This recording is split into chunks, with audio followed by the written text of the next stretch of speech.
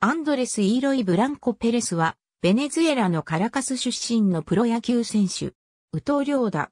現在は、ミルウォーキー・ブルワーズ参加所属。愛称はスペイン語で白を意味するウィテー。2000年にカンザスシティロイヤルズと契約して、プロ入り。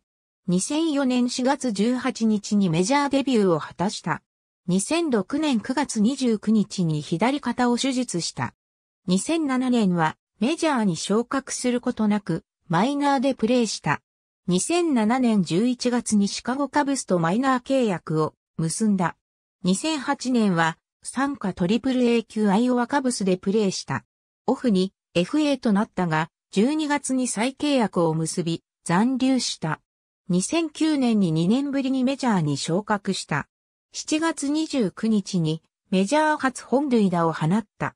2010年3月27日にテキサスレンジャースへトレードで移籍した。内野のユーティリティプレイヤーとして活躍した。2011年11月4日に FA となった。2011年12月16日にワシントンナショナルズとマイナー契約を結んだ。スプリングトレーニングには招待選手として参加した。3月29日に自由契約となった。